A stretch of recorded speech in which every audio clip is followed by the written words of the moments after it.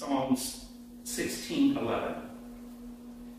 Thou wilt show me the path of life. In thy presence is fullness of joy. In thy right hand there are pleasures for everyone. That is a full